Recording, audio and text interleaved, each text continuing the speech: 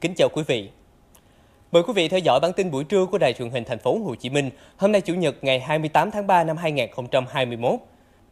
Hyundai miền Nam vừa chính thức đưa vào hoạt động showroom 3S bao gồm sales bán hàng, service, dịch vụ và spare part phụ tùng chính hãng với tổng vốn đầu tư lên đến 100 tỷ đồng. Tọa lạc tại quận 12 với vị trí cửa ngõ tiếp giáp các khu đô thị mới Bắc thành phố Hồ Chí Minh, showroom có thiết kế hiện đại, trang bị tiện nghi theo tiêu chuẩn Hyundai toàn cầu. Hoạt động sửa chữa nặng cũng được đầu tư với 3 phòng sơn, diện tích lớn, trong đó có hai phòng sơn nhanh, sẵn sàng phục vụ nhu cầu của khách hàng, với mục tiêu phục vụ hơn 100 lượt xe mỗi ngày. Trong đợt vận hành đầu tiên, Hyundai miền Nam đã tổ chức nhiều chương trình đặc biệt cho khách hàng mua xe mới.